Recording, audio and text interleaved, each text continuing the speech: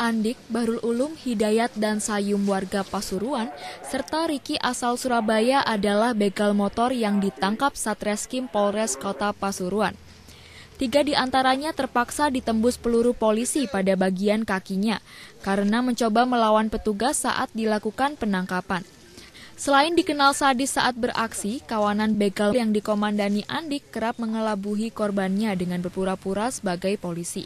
Korban tiba-tiba dicegat di tengah jalan, kemudian pelaku menuduh korban telah melakukan pelanggaran hukum seperti memiliki narkoba, balap liar hingga melanggar lalu lintas. Dengan alasan ke kantor polisi, korban kemudian dibonceng. Namun di tengah jalan, korban dipaksa turun dari kendaraan.